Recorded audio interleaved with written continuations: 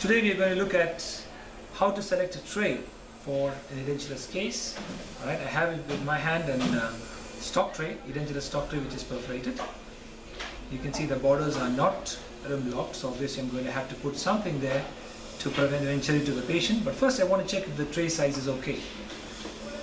As always, you want to put the ends of the tray in the hamular notch first and then rotate the tray up. So opening the mouth, you go into the hamular notch right there. And then lifting up the lip you want to rotate the tray up and see if there is enough space between the tray and the tissue. In my case here I see there is enough space between the tray and the tissue. There's enough about 3 to 4 millimeter space here and that should be enough for my alginate material. So that is the first criteria.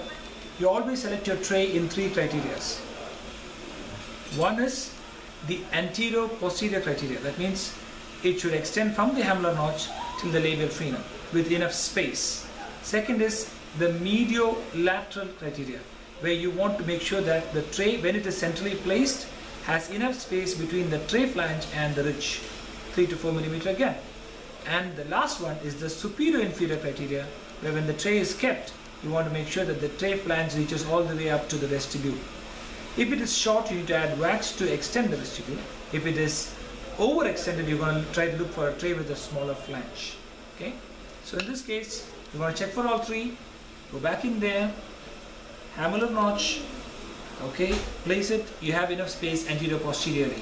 Now the question is to check mediolaterally with the tray in the midline, not moving, not moving. Lift up the cheek and look for space between the tray, flange and the ridge. I'm going to take a pause. I'm going to ask one of one of our students to demonstrators to come and help me with this.